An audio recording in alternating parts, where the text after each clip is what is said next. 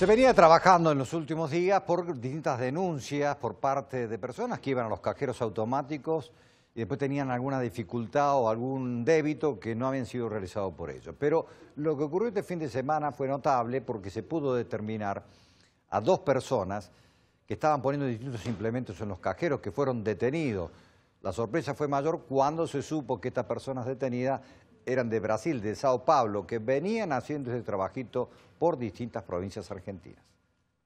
Eh, se procedió a la detención de dos, de dos personas, las cuales son de nacionalidad brasilera, oriundas de la ciudad de San Pablo, eh, procediendo al secuestro de entre sus ropas eh, diversos dispositivos para la, la, obtención de forma irregular, ¿cierto?, de eh, tarjetas, de los datos de las tarjetas de crédito.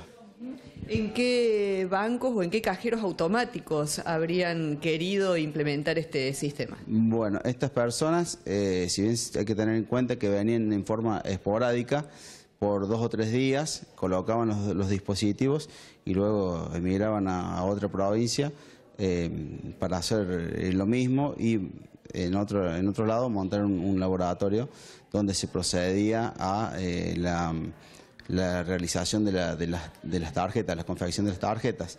Eh, eran solamente eh, a fines de recaudatorios que, venían acá de los, de los datos. el día lunes habían estado en unas sucursales del banco de Recta Martinoli, después anduvieron por los bancos de, de la zona céntrica y el día viernes se los agarró en, en una sucursal del Banco Macro de Boulevard Los Granaderos. La boquilla va insertada dentro de la boca del, cajero automático. Esto es lo que reproduce o lo que lee y graba la banda magnética de las tarjetas. En tanto que este dispositivo va colocado sobre el cajero automático con el fin de grabar la clave personal cuando uno la digita.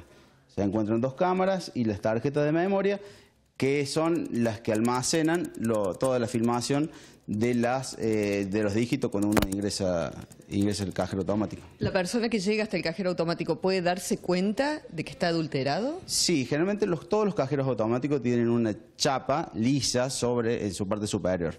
Al, estar pegado este dispositivo, con pasar la mano eh, por encima del cajero, uno se da cuenta de que eh, hay algún elemento extraño que eh, nos hace presumir que no, tendríamos, no tenemos que operar por cajero.